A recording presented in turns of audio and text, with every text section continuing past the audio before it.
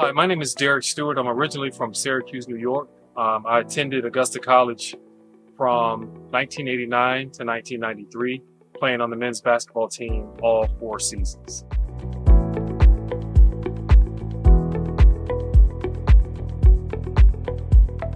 So 92 93 was my senior year, and it was the first time that I was going to be playing without Keenan Mann. Keenan Mann was our leading scorer my first three years. I remember being concerned. I didn't even realize how much I was going to miss him until he was gone because it really means a lot to know that you have another person out there that, you know, is going to score a certain amount of points every night. So coming into my senior year, I wasn't sure who that was going to be. But also I just felt a overwhelming sense of responsibility. You know, I wasn't a leader until I became a senior. And so when it was my turn, I knew I was ready, but I also knew that it was a huge responsibility. You know, I just remember being very focused, uh, having played for three years, knowing what it was going to take to be successful, and just being ready to do that.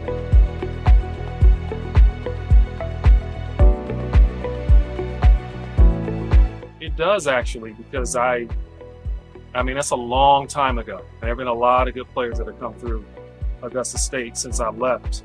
So to think that I'm still into the top five, it, it, really is surprising, yes, because we have a really good program. We've had some really good players come through there. And so it's surprising, but it's an honor to still be remembered in that way. You know, I really enjoyed my four years there um, at Augusta College. It was, you know, four of the best years of my life. I still have friends and brothers that I'm still in touch with to this day. Learned so much about the game of basketball, but also the game of life. So um, I really appreciated my time in Augusta.